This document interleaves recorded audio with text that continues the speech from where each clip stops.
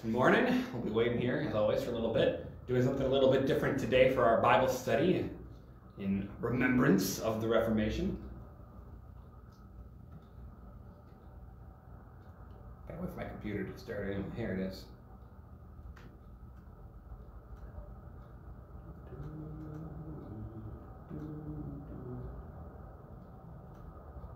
All right.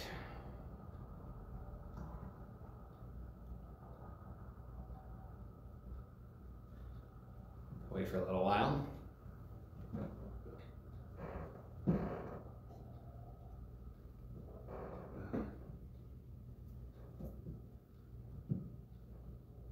We got one.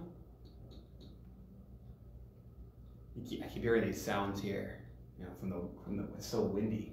You get little branches tapping, and leaves rustling around. It always sounds really weird. It's like, oh, what's that? Wait a little bit longer. Um, like I said, we're going to be doing something a little different. We're taking a break just for today from our Genesis study and have something for the Reformation. This is a uh, this is based on a paper that I wrote in seminary. Goes way back. Um, and it was for a symbolics class, and the assignment was to, oh, well, the paper was to do this comparison between the way that Luther and the Reformation used certain terms and the way that the Catholic Church did.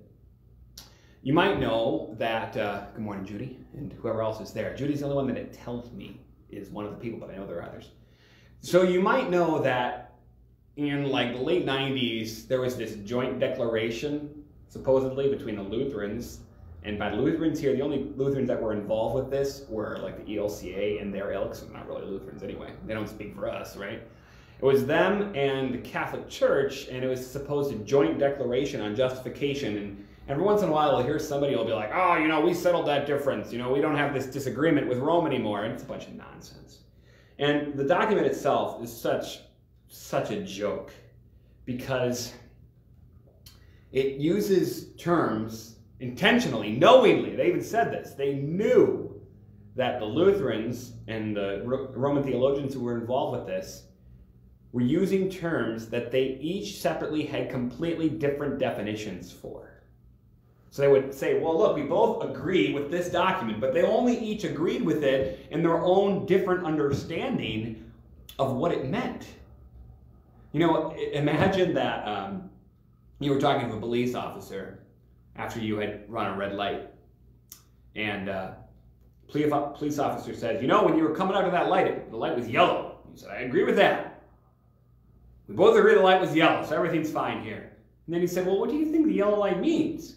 And you said, It means speed up so you can get through the intersection. And he said, No, it means slow down. And, and then you said, Well, it doesn't really matter. You know, if we think it means different things, we agree the light was yellow. That's all that matters. Well, obviously that's pointless. That, that's sort of like what's going on here.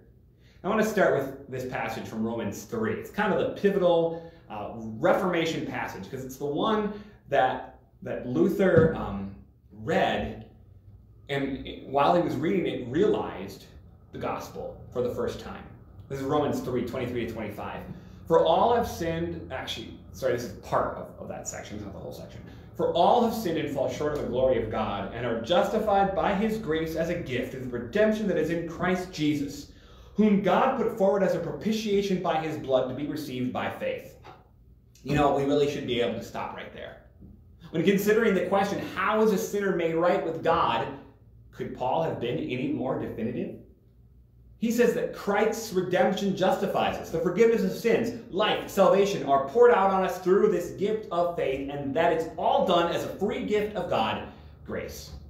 How could anyone misinterpret what Paul is saying? Well, of course, the problem comes when sinful humans make up their own things and then change God's word to fit what they think. That, that's exactly what had happened in the Catholic Church. Isn't it astounding? You know, God says that someone who rejects this is accursed. That's what Paul says in Galatians. If anyone should preach a different gospel to you than this one, let him be accursed. That means let him be damned. And yet, as we're going to see in some of these quotes, the Catholic Church then and still today in their official doctrines and their catechisms and in the councils, they call anyone who confesses this accursed. Anyone who confesses this, they say, is damned. Isn't that crazy? How can that be? We're going to see as we go through here. The first section is uh, on the different definitions of the word grace. So this is Rome's position on the meaning of the word grace. It's from the Council of Trent. One thing to remember here too, people sometimes try to say like, you know, that was back then, this is today. Look, the Roman Catholic Church upholds everything that I'm about to say as its official teaching and doctrine. It does not and has never even suggested that it rejects any part of any of the teachings of its councils. So this is from the Council of Trent, chapter 7 and 8 in canon number 9. If anyone says that a sinner is justified by faith alone, meaning that nothing else is required to cooperate in order to obtain the grace of justification, let him be damned. Canon 11. If anyone says that men are justified either by the sole imputation of the justice of Christ or by the sole remission of sins to the exclusion of the grace and charity which is poured forth in their hearts by the Holy Ghost and remains in them, or also that the grace by which we are justified is only the goodwill of God, let him be damned. Canon 24. If anyone says that the justice received is not preserved and also not increased before God through good works, but that those works are merely fruits and signs of justification obtained, but not the cause of the increase, let him be mm-hmm. damned.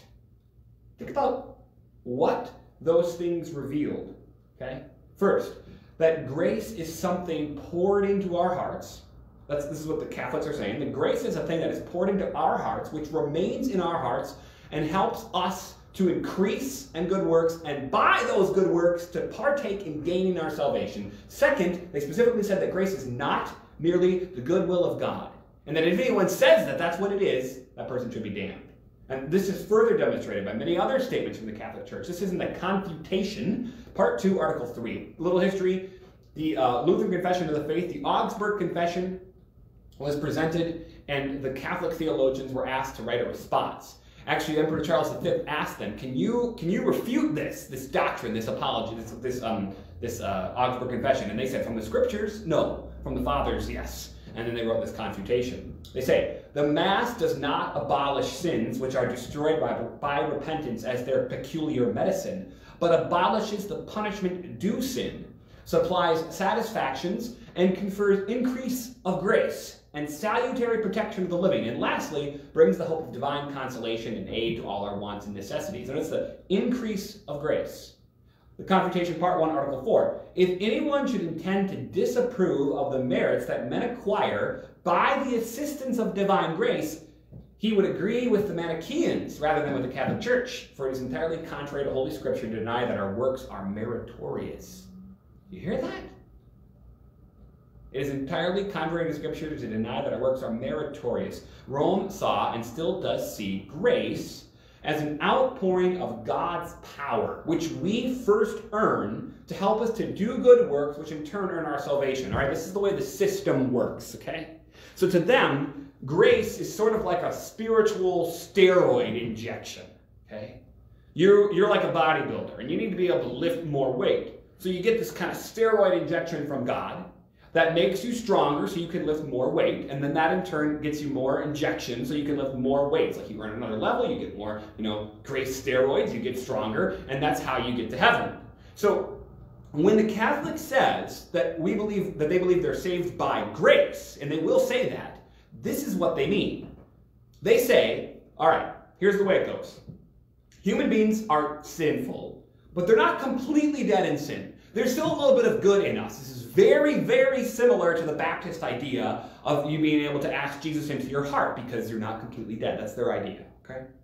So, when a person, by this sort of natural goodness that is in them, you know, does kind of a little bit, makes a little bit of a motion towards God, that motion towards God, they say, it's not good enough to earn salvation, but it is good enough, they say, to, to earn from God a gift of His grace whereby he gives them faith. Now, notice what's happening there. They're saying that you, by your natural ability, can do enough to earn something from God, that he is obligated to give you faith. Not a gift of grace, but something you have earned. That's what they're saying. Then, once you start that, it's sort of like this leveling up process. Like you're playing some kind of video game. And you and you get your steroid injection from God, His grace, that's what they call it, in the sacraments and whatever. And then that makes you stronger so you can do more good works. And it is by those good works which are assisted by His grace that you earn salvation. That's their position. That's what they mean when they say that we're saved by grace.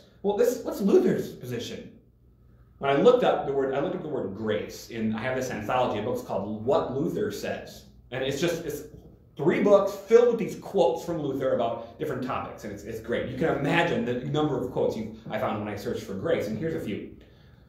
This is on page 603 of what Luther says. What now follows belongs, I hold, to the gifts of the Spirit which follow the remission of sins. For Paul teaches a difference between grace on the one hand and gifts on the other. Grace signifies that favor with which God receives us, forgiving our sins and justifying us freely through Christ. Do not consider it a quality in man as the sophists dream it is. According to the usage of Scripture, grace signifies that favor of God which wishes us well and justifies us. That is, it freely grants us the faith which alone justifies us. Now, in the entire Scripture, we nowhere read that justification is ascribed to love, since love is rather the fruit of justifying faith. As in Galatians 5.22, the fruit of the Spirit is love. A good song may well be sung often, Grace consists in this that God is merciful to us, shows himself gracious for the sake of the Lord Jesus Christ, forgives all sins, and will not impute them unto us for eternal death. This is grace, the forgiveness of sins for the sake of the Lord Jesus Christ, the covering up of all sins. Notice what Luther is saying that what grace as in its essence is, is an attitude of God toward us. It's love. You've probably heard the definition before. Grace is God's undeserved love.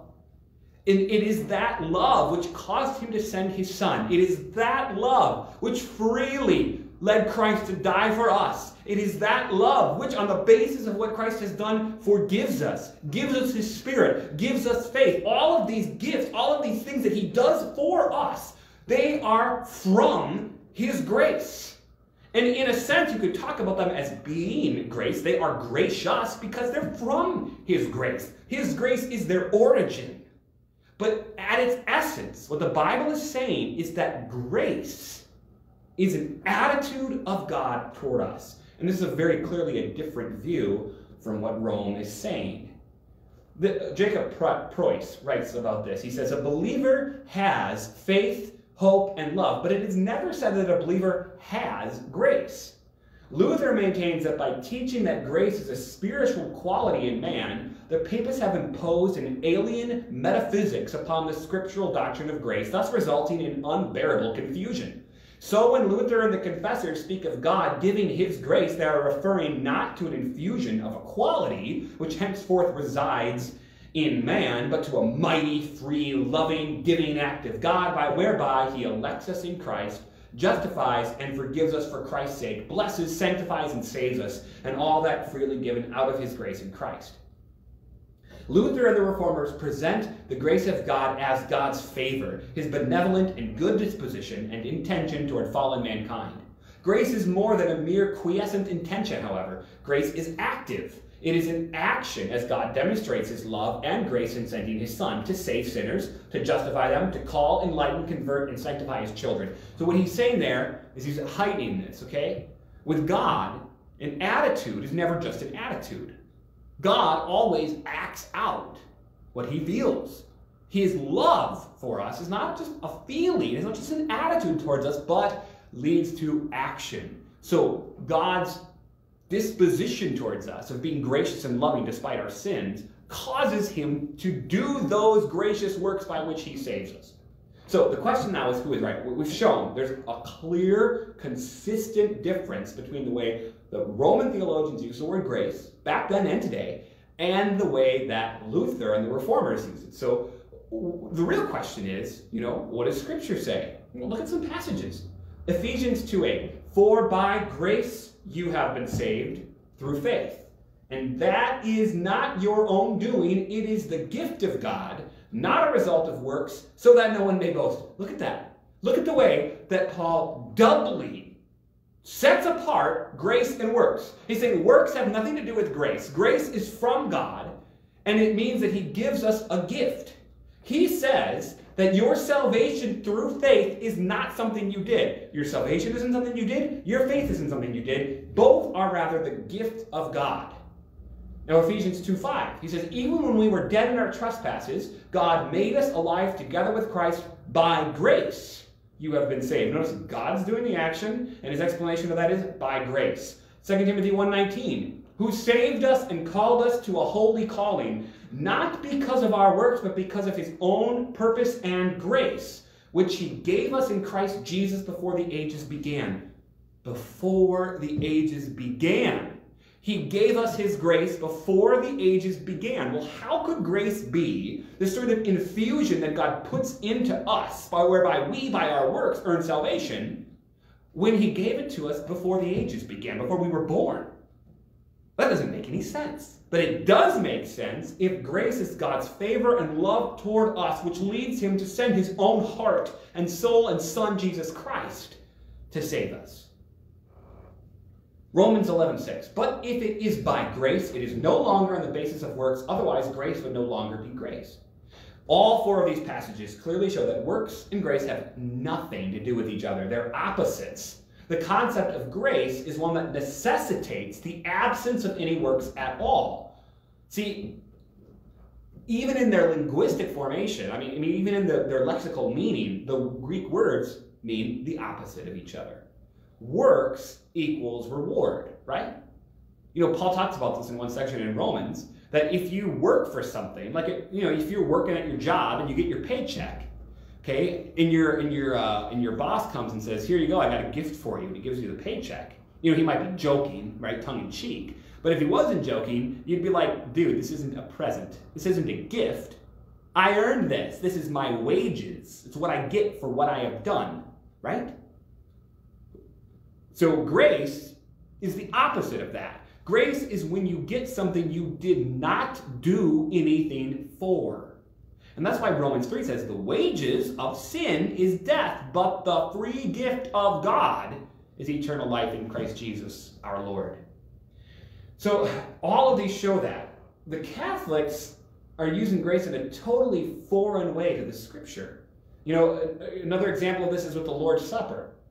Rome saw then, and still sees today, the sacrament of the Lord's Supper as a source of grace. That is, a source of those kind of spiritual steroids by which man can persevere and earn heaven. Luther, backed by God's word, knew that this wasn't true. Holy Communion is a means of grace. It's a means by which God pours out the blessings of his undeserved love on us. That is the forgiveness of sins, life, and salvation won by Jesus Christ. The sacrament itself does not produce grace. It gives us grace because in it Christ who died and rose comes to us. Another passage is Romans 5:15. But the free gift, and remember uh, I mentioned this before, but the word gift in Greek is from the same word as the word is translated grace because a free gift is a gift that is given on the basis of an attitude of love, not something that's earned. And so the words fit together in their lexical meanings. You only, you can't say, I deserve this, I earned this. You say, somebody gave this to me. Like, it was on your birthday, your parents gave you a present, not because you they had to, not because you earned it or deserved it, because they wanted to. So the gift is a result of their love, of their grace. So Romans 5.15, the free gift is not like the trespass. For if many died through one man's trespass, much more have the grace of God and the free gift by the grace of that one man, Jesus Christ, abound for many. Notice what's key there. The grace of God and the free gift by or from that grace.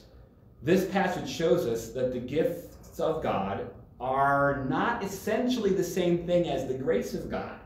Two different things are spoken of. There is God's grace, his anyway love towards us, and then there is the gift by that grace. They're very related. It is a gracious gift because it comes from grace. God's grace is the reason for all the wonderful gifts that He gives to us, but it is not in itself those things, such as hope, joy, love, faith, etc.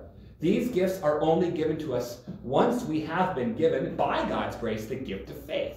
That's subjective justification. As Paul writes, many all have sinned and fall short of the glory of God and are justified by his grace as a gift through the redemption that is in Christ Jesus. So, we're justified by grace. That is because of his love towards us. And then it says, as a gift. It's given to us. His grace is given to us through the redemption, that is, through the redemption of Jesus Christ, through his death on the cross. And that's how we're saved. So that's that's grace, all right? You have what Luther's saying, what the what the what the Luther, what the confessors of the Reformation are saying, what the Catholics are saying. They're a mile apart, and Scripture is 100% over here with Luther. Next, how about justification? Uh, I had this in the sermon today. Justification by faith alone is the doctrine on which the church or the individual stands or falls. It's a quote from Martin Luther. All right, so we've seen that grace is that undeserved love of God that caused him to act mercifully in human history to bring about the salvation of men. The next question is, what is justification? As is clearly seen from the quote I just mentioned, that's a very important question to Luther. So here's Rome's position. This is what they say justification is. Just from the canons and decrees of the Council of Trent, chapter 7. The disposition or preparation of justification itself follows, which is not merely the remission of sins, but also the sanctification and renewal of the inward man through the voluntary reception of the grace and gifts, whereby man from unjust becomes just, and from an enemy, friend, so that he may be an heir according to the hope of eternal life. Okay, think about what that's saying. It's saying that justification is not essentially just the forgiveness of sins, but it is both God forgiving your sins and then your work towards getting rid of sin in your life. Okay? So that the whole process is involved. It's not just what God gives you, does for you, says to you, declares to you, but it's also what you do after that. The process by which you become more sanctified, you become more holy, the process by which you say, oh, I don't know, stop cursing, or the process by which you, you know, uh, become a better person, a better husband. That's what they're saying, quite clearly. So what they're saying is that sanctification and the forgiveness of sins are not two separate things, but two parts of one whole, and they call that justification. Another quote from the, the Confutation. Ye are my friends, Christ says, if ye do whatsoever I command you. On this account, their frequent ascription of justification to faith is not admitted since it pertains to grace and love. For St. Paul says, Though I have all faith so that I could remove mountains and have not charity, I am nothing. Here, St. Paul certifies to the princes and the entire church that faith alone does not justify. All right, that John passage being quoted is a joke. It shows a complete lack of understanding of the scripture because they don't understand the gospel. Jesus is not saying to the disciples, I will only justify you if you do whatever I command you. They are his friends. They are his friends, he says. He has loved them with an everlasting love, which is grace. Jesus is explaining to his disciples some of the privilege of being his friends a friend of Jesus does what Jesus says. Not to earn something from him, but because he trusts that his Savior is his friend. It was earlier on that evening that Jesus said to the disciples, You are already clean because of the word that I have spoken to you. That certainly is the word of the gospel, the word of justification.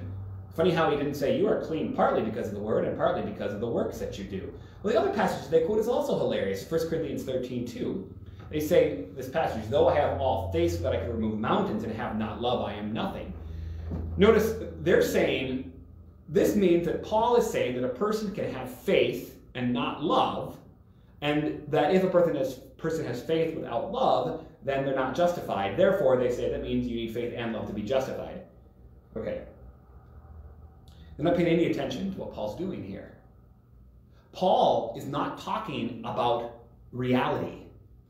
He is, he is speaking about what people suppose to be the case. He's talking about people who think they have faith and do not have love. People who are saying, Look, I've got faith, so it doesn't matter that I don't have love. James does the same thing in James chapter 2. He says, Someone will say, I have faith, and another person will say, I have works. See? And Paul says such faith is dead. Sorry, James says that faith is dead. What he means is it's not faith. And that's what Paul means too. That's why he says, I am nothing. He says, if you say, I have faith, but you don't have love, you don't have anything. You don't have faith or love. Hebrews 11 says it this way without faith, it's impossible to please God. What pleases God is love, right? Love is the fulfilling of the law, love is the commandment. So love only comes from faith. Anywhere where there is love, there must already be faith. And anywhere there where there is faith, there must also be love. So if a person is saying, I've got faith but not love, they don't have either. And that's the point of this passage. And the Catholics are trying to use it to say the opposite. Then here's another quote from the Confutation, Article 6. But in the same article, their ascription of justification to faith alone is diametrically opposed, opposite, sorry, the truth of the gospel by which works are not excluded, because glory, honor, and peace to every man that worketh good, from Romans 2. Why? Because David, Christ, and Paul testified that God will render to everyone according to his works.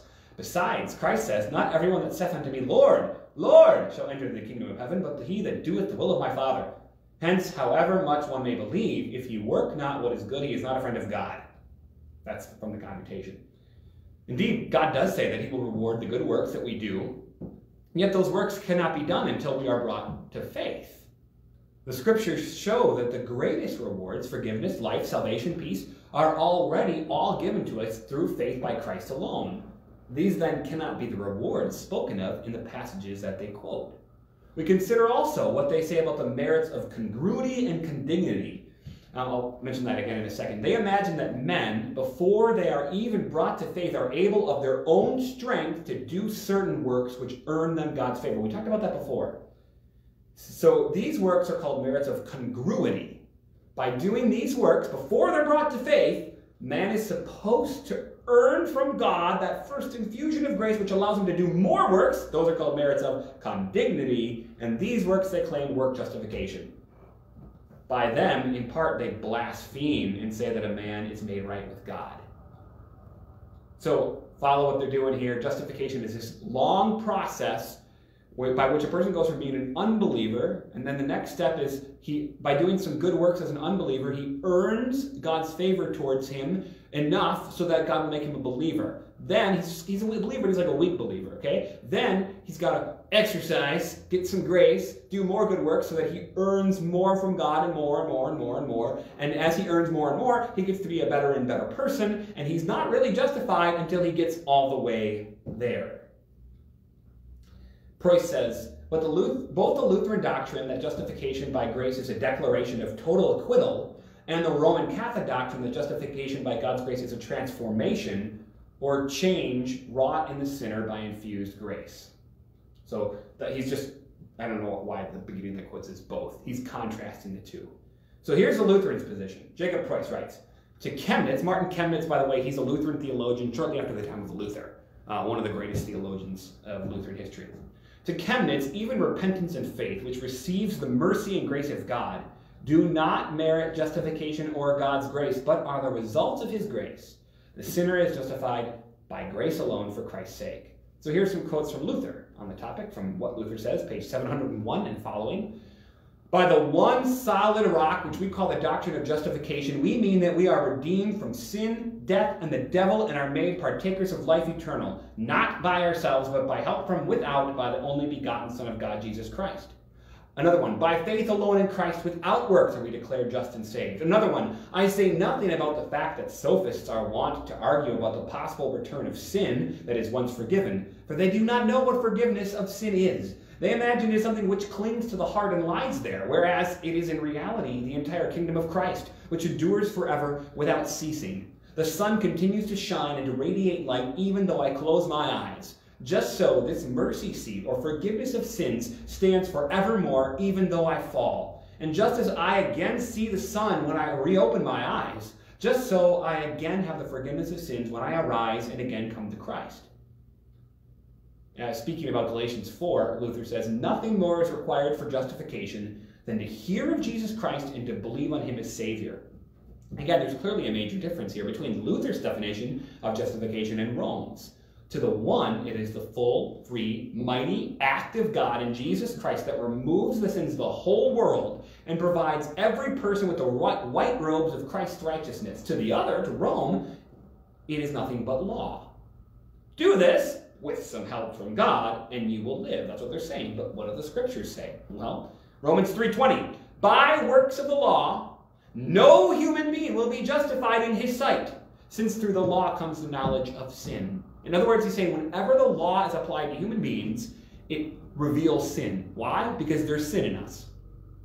Because we're dead in sin. We're filled with sin. And every single time that the law is brought to us, that is what it does. The law never justifies, ever, because we never keep it. The law can only say what it says. And what the law says is be holy or else. The law doesn't change its proclamation based on whether you're better than somebody else or based on whether you're getting better. You know, um, I was watching this show, uh, The Good Place. It's a pretty interesting show. It's kind of funny. Uh, quite a bit more appropriate. It's not completely appropriate, but way more appropriate than most sitcoms. And it's interesting because uh, it's it takes this exploration of philosophy. Okay, and I, I, think that's interesting. It's not accurate. It's not right. Human philosophy isn't right, but it, it lets us get an idea of the way that people think. And it gives a glimpse into the natural knowledge of God. And one of the final conclusions of this show is that what really matters to be a good person is simply to be getting better. Okay? The law doesn't care about that. The law isn't like, all right, you're getting better, that's fine. The law is just totally black and white. That is all it is capable of declaring, because that is what it is. Okay? And so the law always reveals sin. The law always condemns us for our sins because we are sinners. So the law cannot justify. And that's why Romans says, no, by the law, by any kind of law, no one will ever be justified. Romans 3.24. This is right after it says, all have sinned and fallen short of the glory of God. And then it says, and are justified by his grace as a gift through the redemption that is in Christ Jesus. Think about that for a second. All have sinned and fall short of the glory of God and are justified. Notice who it is that are justified. The all who sinned. That's everybody. They all sinned, but they're justified. How? Not by the law, but by his grace as a gift through the redemption that is in Christ Jesus. Romans 3.28. We hold, therefore, that a person is justified by faith apart from the works of the law. You know what's great about this passage? In Luther's version of this, and in some English versions, he added the word, uh, we hold that a person justified by faith alone. And then the Romans, and the theologians are like, look, Luther added to the Bible. Well, check it out. The word that is in there is apart from. Okay, here's the question that you have. How is a person justified? Well, it has to either be by what God does, or by what we do, or by some combination of the two, right? Those are the only logical options. So if you say that it is by God's grace, apart from works, what's another way of saying that? Like a one word word that says the same thing? Oh, yeah, alone. Faith alone, not works. It's exactly what Paul's saying. Luther's not adding a word. He's expressing in his own language, as we are in ours, the exact meaning of the inspired Greek that God wrote. We hold that one is justified by faith alone apart from the works of the law. In other words, works have nothing to do with it. So any teaching that suggests that works of any kind, other than Christ's works, uh, that our works at all have anything to do with our justification, is clearly false. Romans 5 9. Since therefore we have now been justified by his blood, much more shall we be saved by him from the wrath of God. Justified by his blood. Doesn't say by works. Galatians 3. Now it is evident, that means it's obvious, that no one is justified before God by the law.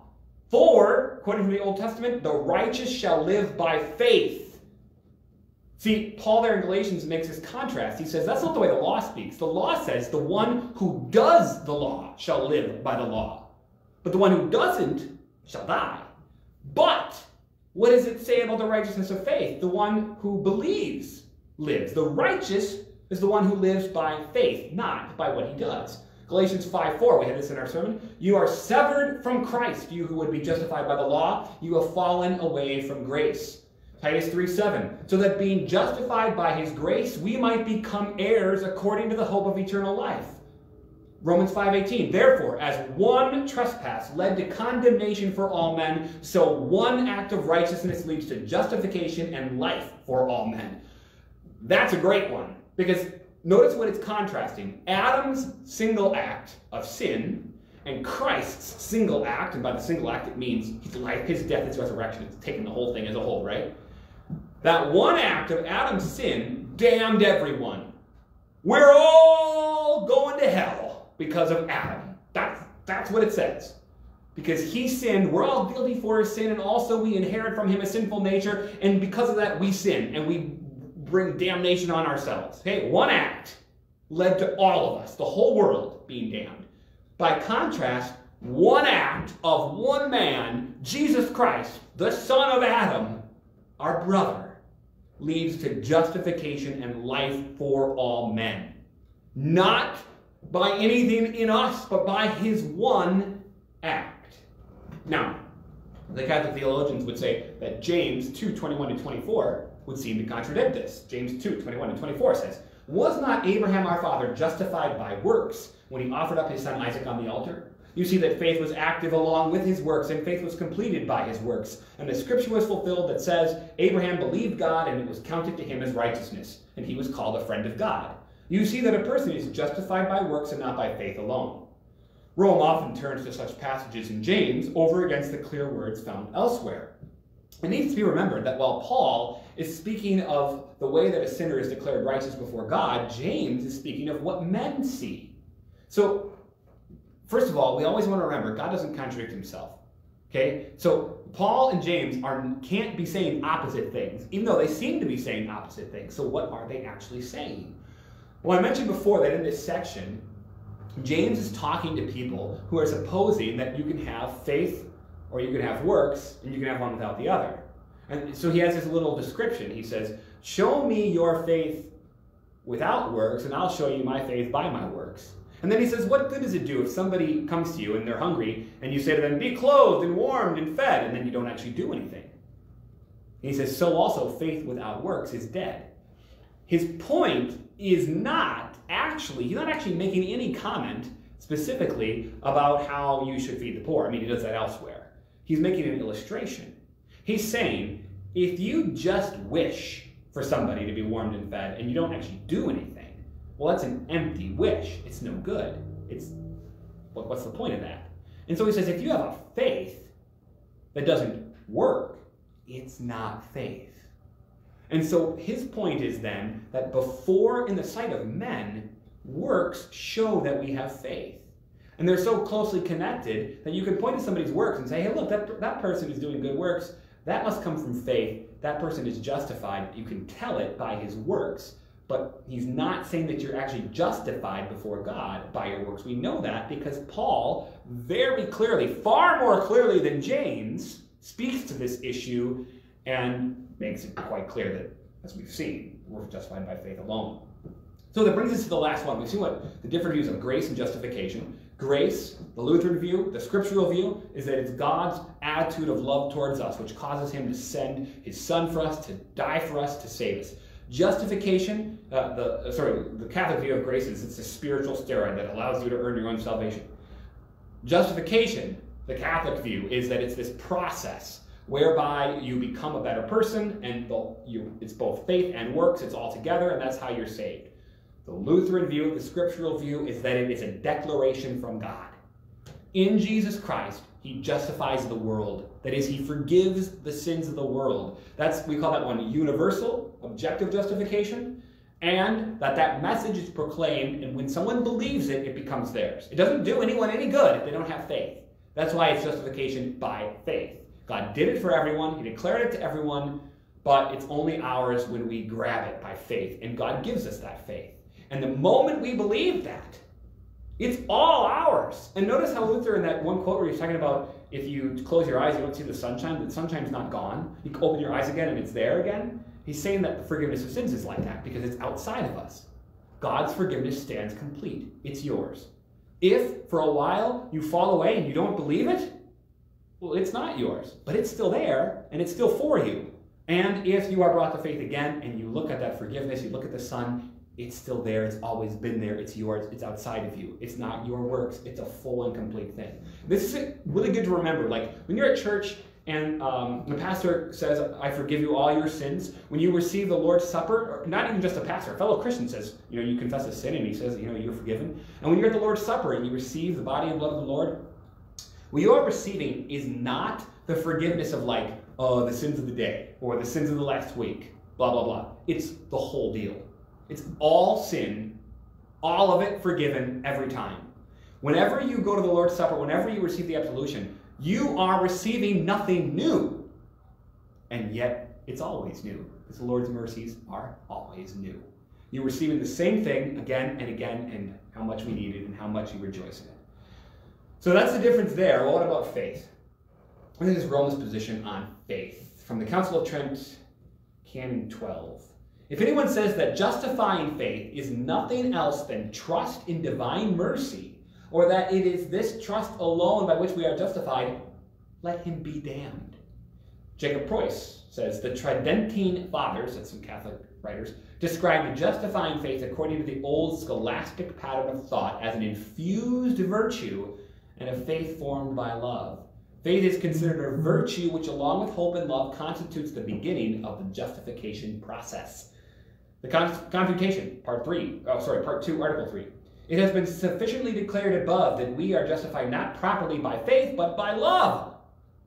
Directly contradicting Paul here, right? But if any such statement be found in the Holy Scriptures, you know, like, like the 15 passages we just read, Catholics know that it is declared concerning fides formata, which works by love. That means formed faith. And because justification is begun by faith, because it is the substance of things hoped for. They're saying, whatever the scripture says that we're justified by faith alone, it doesn't really mean that.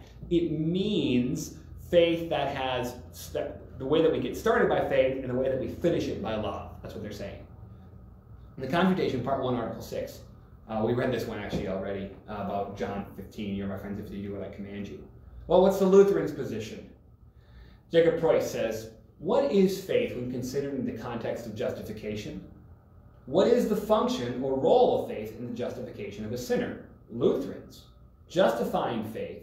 Not faith as it relates to prayer or hope or the fruits of the Spirit or faith that bears the cross or as knowledge of theology. They are referring to general faith, which holds to all the articles of the Christian doctrine trust, confidence, assurance. The Apology um, of the Augsburg Confession, Article 4, number 48, says this But that faith which justifies is not merely a knowledge of history. Not merely this, that I know the stories of Christ's birth, suffering, etc. That even the devils know. But it is to assent to the promise of God, in which, for Christ's sake, the remission of sins and justification are freely offered. It is the certainty or the certain trust in the heart when, with my whole heart, I regard the promises of God as certain and true, through which they are offered me, without my merit, the forgiveness of sins, grace, and all salvation through Christ the mediator, and that no one may suppose that it is mere knowledge, we will add further. It is to wish and to receive the offered promise of the remission of sins and of justification Faith is that my whole heart takes to itself this treasure. It is not my doing, not my presenting or giving, not my works or preparation, but that a heart comforts itself and is perfectly confident with respect to this, namely, that God makes a present and a gift to us, and not we to him, that he sheds upon us every treasure of grace in Christ. Here's from what Luther says, pages 466 to 470. Faith is an unceasing and constant looking, which turns the eyes upon nothing but Christ, the victor over sin and death, and the giver of righteousness, salvation, and the life eternal. This is why Paul in his epistles sets Jesus Christ before us and teaches about him in almost every single verse. But he sets him before us through the Word, for in no other way can he be apprehended except by faith in the Word. Faith is the yes of the heart a conviction on which one stakes one's life. On what does faith rest? On Christ, born of a woman, made under the law, who died, etc., as the children pray in the Apostles' Creed. To this confession I say yes, with the full confidence of my heart. Christ came for my sake in order to free me from the law, not only from the guilt of sin, but also from the power of the law. Christian faith is not an idle quality or an empty husk in the heart which could exist amid mortal sin until love is added and makes it alive. But if faith is real, it is a sure confidence of the heart and a firm assent by which Christ is apprehended in such a way that he is the object of faith. In fact, not the object either, but to put it this way, in such faith, Christ himself is present. Again, there's a major difference between what Rome is saying and what Luther is saying, and God's word is clear on this point as well. Matthew 14, 31, Jesus says, Jesus immediately reached out his hand and took hold of Peter, saying to him, O you of little faith, why did you doubt? Acts 27, 25. So take heart, men, for I have faith in God that it will be exactly as I have been told. Why did he have faith? Remember, that's Paul on the ship. Uh, why did he have faith? Well, God had told him that nobody was going to die. So Paul had faith because God told him. Romans 3 and are justified by his grace as a gift through the redemption that is in Christ Jesus, whom God put forward as a propitiation by his blood to be received by faith. This was to show God's righteousness because in his divine forbearance he had passed over former sins. Now, this is a really key one Romans 4 5. And to the one who does not work, but trusts in him who justifies the ungodly, his faith is counted as righteousness. Notice the one not working, but trusting. Again, they're opposites. The person who is justified by God is the one who trusts in God and does not work. Romans 4:20. No distrust made him waver. Oh, sorry, I gotta go back. I just said something that you might misunderstand. Paul's not saying that the believer does not do works. We talked about that before.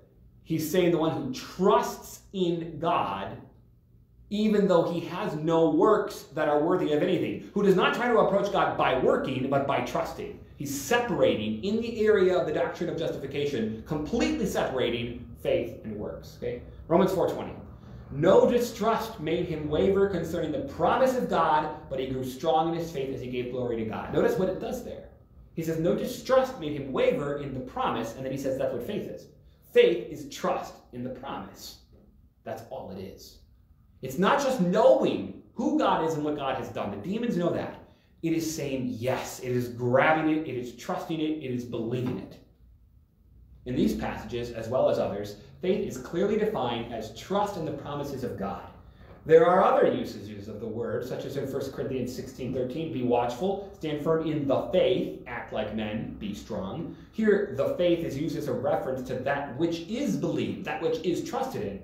The context will generally make clear which one is the case, but even that is emphasizing what we just mentioned that faith itself is trust, because the body of the faith are those things which we trust in, the promises of God in what God has done for us. Rome has, in many ways, mucked up what faith truly is. They say that it is not only trust in God, they say that it is a virtue like patience or kindness or, I don't know, good manners. They are saying that it's a good work. They say that love is an integral part of faith, but not in the way we say it. We say, you know, faith always exists with love, but love and faith are not the same thing. It's true that James says faith without works is dead, but they are once again getting the cart before the horse. Faith is always accompanied by works. That's what James is writing about. But that doesn't mean that faith in and of itself is works. Faith is taking God at his word. Hence, James' comment that it is useless to ask for wisdom without faith. Because you, he talks about that. He says, if you ask without faith, it's like a wave of the sea. What's the point? You shouldn't suppose you receive anything from the Lord. Why would you ask God for something that you're not sure he'll give you? That's what James is saying. Whenever we pray, we should pray with faith. That is confidence. How do we have confidence before God? When He has promised us something. So, faith is to lay hold of the promises of God and apply them to yourself. Faith is how God transmits all the blessings which His grace has worked for us to us. I suppose the question really comes down to this Where will you stand on the last day? Where will your trust be? Rome would stand with one foot on Christ and the other one on their works. They will fall. You ever tried standing with one foot on a dock and one foot on a boat that is not tied to the dock, or even is tied, but you know, not that tightly? You know what happens. Can't stand with one foot on one thing and one on another. The Bible says this Cursed is the man who trusts in man and makes flesh his strength, whose heart departs from the Lord. Luther's confession, by contrast, is quite different. For him, both feet are planted firmly on the rock of salvation in Jesus Christ. So it was that on this doctrine everything stands or falls. It is on this doctrine that we will either stand or fall. It is on this truth that each person will either stand or fall in the presence of the Almighty God. It is by this power that we lay hold on all the promises of God in Christ alone. That's what all these really come down to. What is faith? It is trust in Christ alone. It's simple. We can't do it, but it's simple. God gives it to us. It is this yes to all of God's promises in Christ. What is justification? It's Christ alone. What is what is grace? It's Christ alone. God's love for us is shown in Christ alone. Christ is the grace of God. God's love and tender compassion towards us, that is Christ. God loved the world, John 3:16, in this way that he gave his only begotten son. That's grace. That's justification.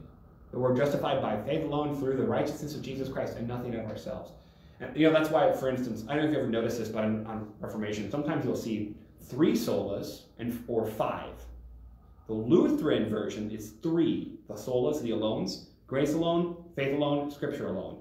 The more Reformed or Protestant thing is to add um, Christ alone and to God be the glory alone. Look, I'm not going to bicker about that too much here because it's fine. Those things are true. But there's a reason why the Lutherans only have the three. And the reason is that grace alone, faith alone, and scripture alone, each one of those is Christ alone. And each one of those does mean to God be the glory alone, because that means God does it all. God gets all the glory, that means God gets all the credit, because God did all the work in Christ alone. Faith, grace, justification. All right, um, that's it for today. Uh, happy Reformation to all of you, and the grace of our Lord Jesus be with each of you.